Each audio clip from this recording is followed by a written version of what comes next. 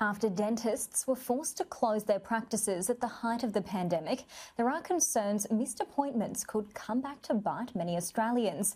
There's a huge backlog of people who need a checkup, and experts say the delay could have long lasting impacts.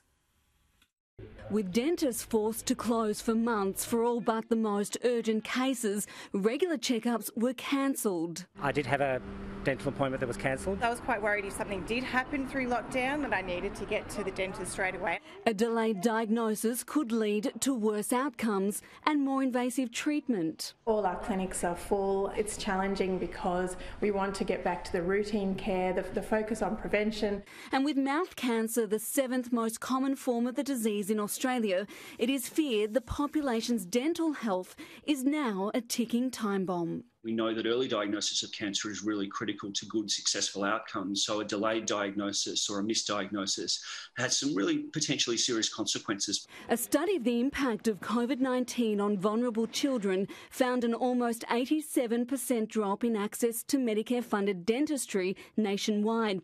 That resulted in almost 900,000 fewer treatments compared to the previous year. There's no doubt that it's applicable to what was happening across dental practices around Australia.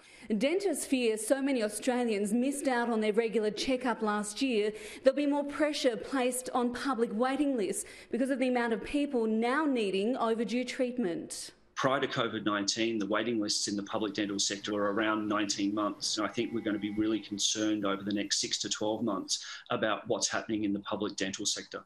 Arrange that visit because it is so important and it will avoid more complex treatment down the track.